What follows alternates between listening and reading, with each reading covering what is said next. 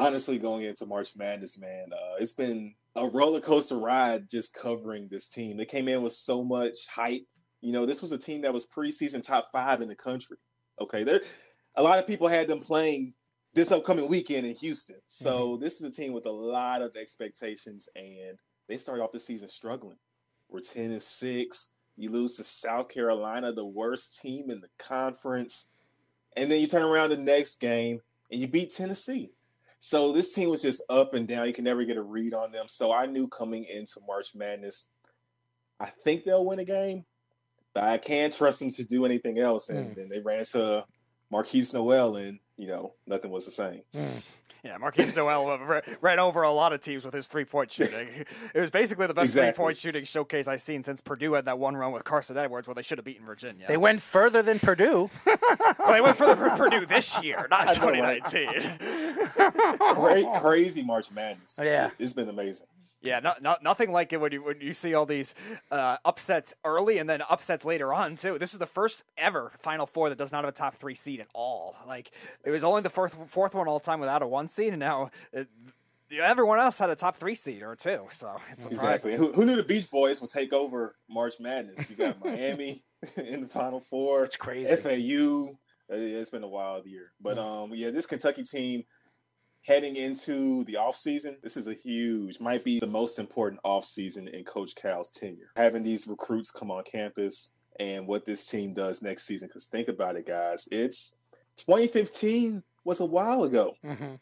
That was the Kentucky team that was 38 0, got mauled by Sam Dekker and lost in the Final Four. But that's really, yeah, that team 2018, uh, 2019, the team that lost to Auburn they had a nice run, but these Cal teams lately in the 2020s haven't been just, you know, dominating. He hasn't had those one and done guys. And he was the, one of the first people to get on the wave of bringing in one and dones. Had so much talent that other college teams couldn't do anything with it. It's a different story now. The the it's so much parity in hoops. We just talked about right. it, Final Four. Look at the teams. So now we, we're really about to see like what are you made of, Cal? You don't mm-hmm. have those one and dones for real anymore. These freshmen you have coming in is a, a great recruiting class, but a lot of experts are kind of down on this uh, incoming class. So we'll see how good these guys are. But Coach Cal, he needs a big season, and uh, he needs Chris Livingston too, possibly to come back and stay at Kentucky. And that's a name that uh, might go to the draft, might transfer. So it's it's important.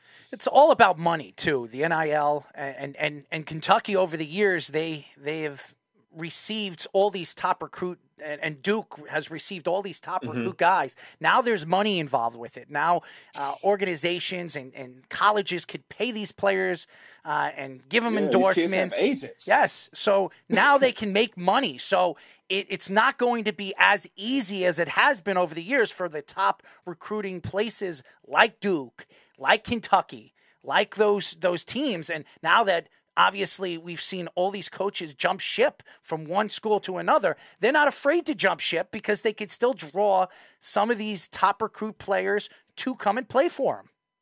There's always going to be somebody who wants to to be like, you know what, this is not working here. Mm-hmm. I can go we look at the kid in Oregon. He was a top 10 recruit in the nation mm-hmm. uh, last season. And now he's in the transfer portal. There's always going to be a couple, some jewels that will leave their school, their current situation, and go elsewhere. So it's just a matter now roster construction and genuine coaching, X's and O's, preparation. We, we really, I think maybe this era of coaches coming up, we're really about to see some legends. Because if you can dominate with how the current setup is, that really separates you and maybe we'll have somebody who's a possible upcoming goat coaching goat. It won't be Jon Scheyer, that's for sure.